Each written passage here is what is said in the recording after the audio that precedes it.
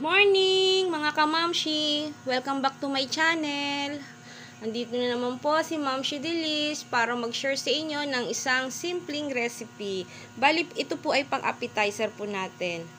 Gagawa po ako ngayon ng chili garlic oil. Ito po yung kanyang mga sangkap. Siling labuyo po. Bali, ginamitan ko po siya ng food processor. Pero kung wala kayong food processor, pwede rin po naman mano-mano. At meron po akong garlic. Ayan po. Pino po yung pagkakaano niya. Ganyan po kasi pag ginagamitan natin ng food processor. At saka po convenient po. Hindi po mahirap. Kesa po yung magmamano-mano tayo. At meron, meron naman pong onion. At ito naman po ang sugar. Bali, ang sugar ko po ay 1 cup. At meron pong atswete. Ito pong atswete, mga kamamshi. 2 tablespoon lang po ang gagamitin ko. Hindi ko po ito uubusin lahat. At meron pong oyster sauce. Ang oyster sauce po ay ang nagpapasarap sa aking chili garlic oil. At meron din po tayong oil or mantika. Bali, isang litro po ito, mga kamamshi. Mamaya po, ipakikita ko sa inyo kung paano siya lutuin, mga kamamshi. Sana mag-enjoy kayo sa panonood ng aking vlog at sana meron din kayong natututunan sa aking mga sinishare. Pero paalala lang, paalala lang mga kamamshi ha, hindi po ako professional. Ako po ay panglutong bahay lang. Thank you for watching. Stay tuned. Meanwhile, Bale, ito po mga kamamshi. Ito na po yung paraan ng pagluluto ng chili garlic oil. Bali po, nagpainit na po ako ng kasirola na may mantika. Lalagay ko po yung atswete. Ito po ay lulutuin natin ng sandali. Hanggang sa magkulay po yung pinaka-oil niya. 2 tablespoon lang po yung ginamit ko. Depende rin po yung mga kamamshi kung gaano karami yung lulutuin yung chili garlic oil. Ayan po. Hayaan lang natin siya. Pagka pumula na po yung oil na yan, sasalain po natin yan. Tapos yung pinagamitan ng mantika, yun po ang isasama natin sa pagluto ng chili garlic oil. Stay tuned! a few minutes later. Oh, hello mga kamamshi. Ito na po na luto ko na po yung atswete. Bale, ito po siya. Sinala ko po siya. Tinanggal ko po yung mga buto. Bali, yung pinaglutuan lang po sa mantika ang isasama natin. Tapos, maglalagay po ako ng mantika. Bali po, isang litro po itong mantika. 1 liter. Ito po yung paraan ng paggawa ng chili garlic oil. Lulutuin po natin to ng mga isang oras po mahigit. Kasi kailangan po lutong-luto. Kaya po lutong-luto dapat para po tumagal ang buhay nung chili garlic oil. Kasi po pag madali nyo lang po niluto yan, madali pong masira. Yun po ang technique doon mga kamamshi. Ayan po.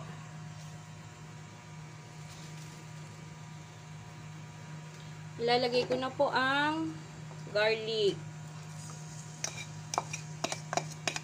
Mga kamamshi. Lutuin lang po natin siya mga kamamshi sa mahinang apoy. At isusunod po natin ang sibuyas. Mga kamamshi. Ilalagay na rin po natin yung niluto nating atswete. Bali, ito po ay sinala. Ayan po, mga kamamshi.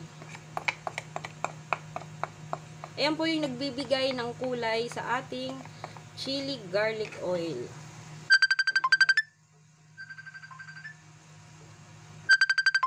Lutuin lang po natin yan ng mahinang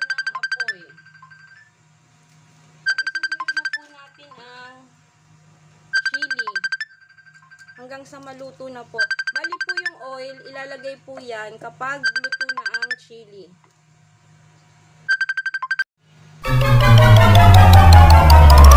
Garlic oil, niluluto, niluluto po natin siya sa mahinang apoy. Kailangan po kasi lutong-luto yung sangkap ng chili garlic oil. Bali po aabutin po ito ng isang oras. After 30 minutes po mga kamamshi, saka ko po ilalagay yung oyster sauce at pati po yung sugar kapag malapit na po siyang maluto. O ngayon po, kailangan po to kapag nagluluto kayo ng chili garlic oil, kailangan po halu-haluin nyo kasi para hindi po dumikit po yung ilalim. Hindi po siya masunog. Lagi nyo pong tatandaan, kailangan nasa mahinang apoy lang po siya. Ayan po mga kamamshi. After 30 minutes, pwede na natin ilagay po yung asukal at pati rin po yung oyster sauce. Ito po. Bali, ang paglalagay mga kamamshi ng oyster sauce, ah, tansyahan lang po yan ha. Depende sa ramen na gusto nyo po. After 30 minutes ko po, saka ko lang po nilagay yung asukal, pati po yung oyster sauce. What? Meron pa pong natitirang 30 minutes na paghihintay para po malaman natin na luto na ang ating chili garlic. Kailangan po talaga kasi na matagal. Kailangan pong lutuin ng maigi. Kasi, ko, kasi po, kapag hindi natin naluto siya ng maigi, madali pong masira ang ating chili garlic oil. Hindi po siya tatagal ng 3 months. Tsaka mga kamamshi, pwede nyo rin itong pagkakitaan.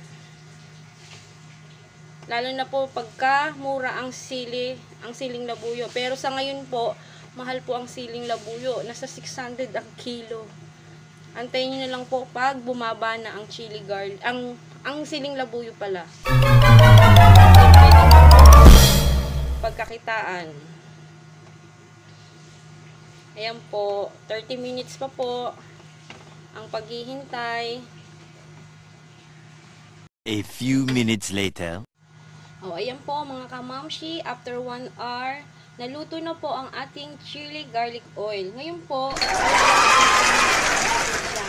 kapag malamig na po siya mga kamamshi, pwede nyo na po ilagay sa ganito po. Yan po. Binibenta ko po to ng 110. Kasi po, mahal ang siling labuyo ngayon, kaya 110 po. Pero mga kamamshi ah, kailangan bago nyo ilagay sa ganitong lalagyan, siguraduhin nyo po yung gagamitin yung lalagyan ay na-sterilize. Pati po yung chili garlic oil, kailangan po yan mga kamamshi, malamig na po bago nyo ilagay sa isang lalagyan na kagaya nito. Thank you for watching my YouTube channel. Please don't forget to like my YouTube channel. Pakiclick lang po yung notification bell para ma-update ko po kayo sa bawat lulutuin ko, mga kamamshi.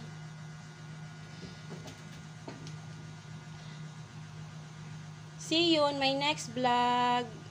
God bless.